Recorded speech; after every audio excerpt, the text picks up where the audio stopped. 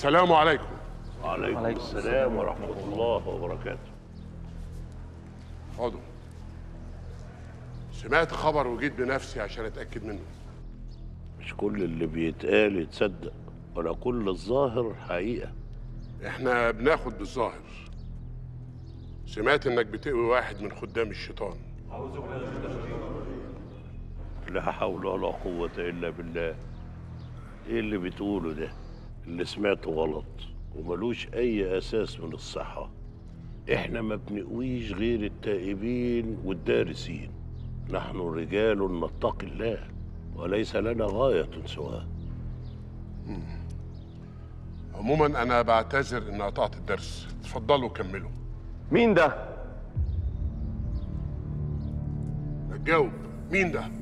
ده طالب علم تائب. يكشف عن وجهه. سيدي أول مرة نتشرف بحضورك في الدرس وإحنا سعداء إن أنت موجود معانا النهاردة. أنا بقول لازم يكشف عن وجهه. واضح علامات الشيطان على وشه والخادم في إيده. هتعمل إيه بعد ما شفت ده كله؟ وعرفت إن الحسن بيدافع عنه. عايزك عندي في القصر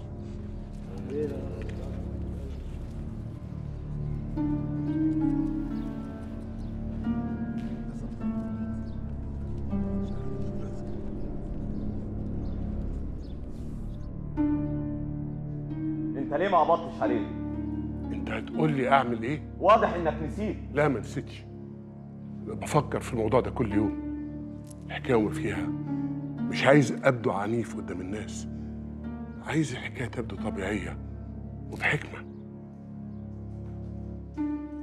مولاي الحسن بالباب. دعه يدخل. أمر مولاي. اتفضل.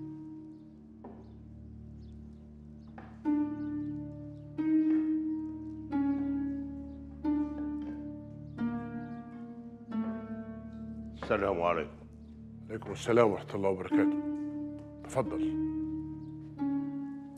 أنا عرفت إن الولد ده عايش معاك وفي بيتك ده فتى تاب إلى الله ومحتاج للمساعدة وهو ملوش أي علاقة بالسحر.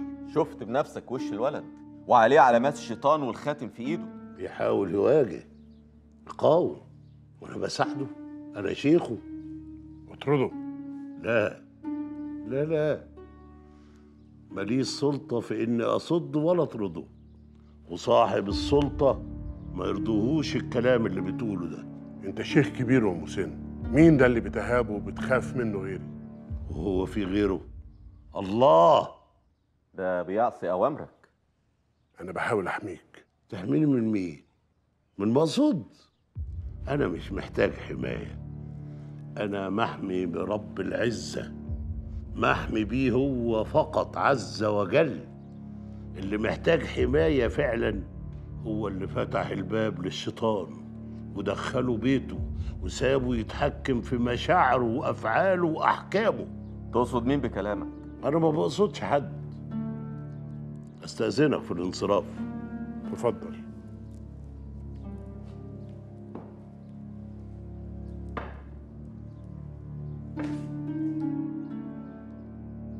انت ليه مشيته؟ وفي ساحر في بيته. مش هو لوحده اللي عنده ساحر في البيت. اشترك دلوقتي واتفرج على كل اللي نفسك فيه. واتش إت، ما تخليش حاجة تفوتك.